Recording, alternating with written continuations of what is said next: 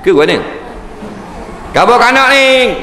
Jangan tengok drama joget-joget gini. Ayah dah benar nak tengok tengok cerita lain. Animal planet. Beruk belawang uh, cacing. Tengok. Faham? Ha boleh tahan kira. Joget-joget tengok apa? Malaikat semua lagi. Anak dia tanya ya ya sedap. Ha, sedap. Ambil TV belah dua dengan kapok. Bukan mahal ni maiding 299 boleh obat gigi pula tiga. Faham baru dia takut eh dalam mai ayah ku tutup tutup ayah balik tutup tutup ayah balik. Nah ni dah ayah diri pula tak boleh nak harap dah. Macam mana kita nak betul keluarga kita? Yahudi Nasara duk ngajar sama dalam TV betul ada 30% 20% benda kebaikan tu. Hak banyak hak jahat.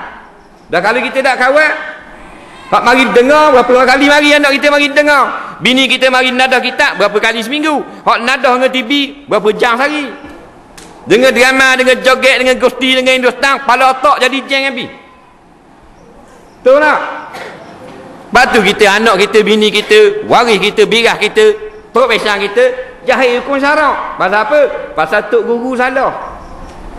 Tok Guru bukan syekh, tapi TV 1, TV 2, TV 3 suku.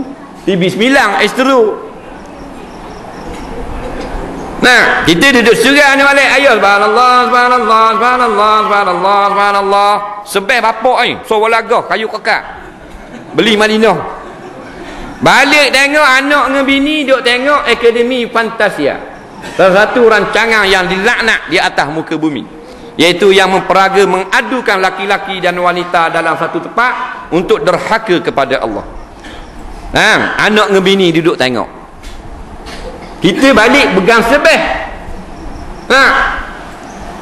Buka itu tengok duduk nyanyi. Ya, ya, ya duduk nyanyi. Nyak ke nak marah? Tanya pula ayah. Nombor oh, manusia menang. Tanya pula bangang punya ayah. Ambil sebeh tu boleh tekak ayah jeru. Rendahlah kalau.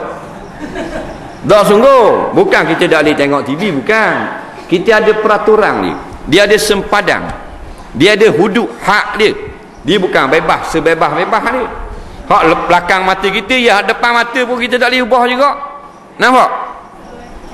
Ha, jadi bila kita tahu sesuatu perkara maka kita nak buat tak buat itu suku kira tapi tahu itu menjadi kewajipan yang asal sesiapa nak masuk buat satu benda wajib kena belajar dulu maka kita sebagai umat Islam tak dapat tidak memang kita kena wajib kena belajar sekarang ini Allah mudah nak belajar agama supaya kita tak jadi buat benda yang haram cukup mudah dah ha.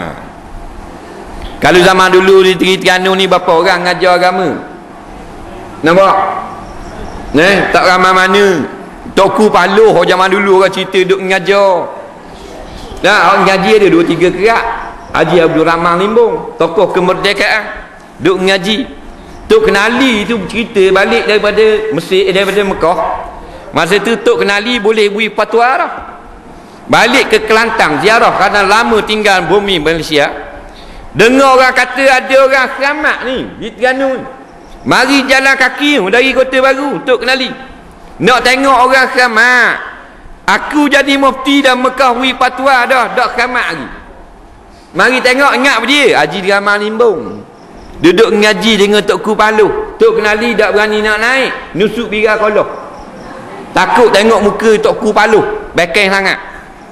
Ah ha, tu cerita lah dulu. Mana jalan kaki? nak ambil ilmu, nak ambil berkat.